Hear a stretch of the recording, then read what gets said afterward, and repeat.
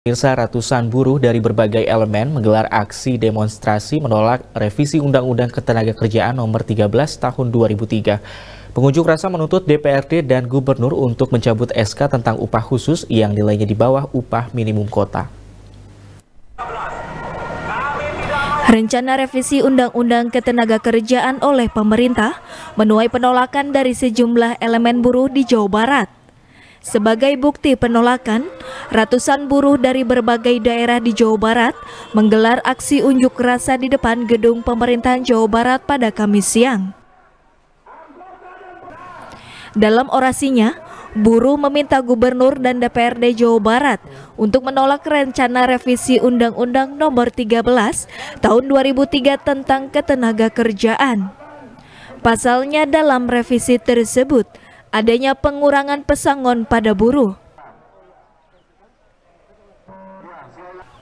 Selain itu, para buruh juga meminta untuk menghentikan segala kebijakan yang bertujuan untuk menciptakan politik upah murah di Jawa Barat. Menyuarakan hal yang sama, satu kesepakatan, kesepahaman, yaitu meminta kepada Gubernur Jawa Barat dan DPRD Provinsi Jawa Barat untuk mendukung tuntutan kami yang pertama menolak revisi rencana revisi Undang-Undang 13 2003 tentang ketenagakerjaan. Kedua, menolak sistem pemagangan nasional. Ketiga, menolak sistem upah murah yang berlaku di Jawa Barat. Jadi tiga poin penting ini yang ingin kami sampaikan hari ini dan mudah-mudahan direspon dalam bentuk rekomendasi dukungan dari Gubernur dan DPRD Provinsi Jawa Barat. Selain itu, ada isu lokal yang ingin saya sampaikan dalam audensi nanti, yaitu dampak dari Citarum Harum yang berimbas kepada relokasi beberapa perusahaan di Jawa Barat ke segitiga Lebana, Cirebon, Patimban, dan Kertajati. Jadi ini berdampak uh, sangat uh, kompleks karena dikhawatirkan nanti akibat relokasi ini tercipta upah murah karena upah yang mereka terima nanti akan yang berlaku di segitiga Lebana. Para buruh berharap Gubernur dan DPRD Jawa Barat bisa menyampaikan penolakan undang-undang revisi tersebut.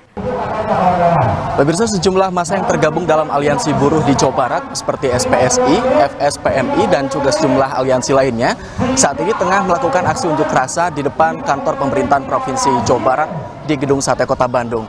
Para demonstran mendesak pemerintah Provinsi Jawa Barat untuk segera merevisi Undang-Undang Nomor 13 Tahun 2003 tentang ketenagakerjaan, di mana para demonstran menganggap bahwa undang-undang tersebut merugikan pihak buruh dan tidak mensejahterakan pihak buruh. Untuk itu, para demonstran menuntut segera dan juga menunggu tindakan dari pemerintah Provinsi Jawa Barat untuk segera merealisasikan apa yang menjadi tuntutan para demonstran pada hari ini.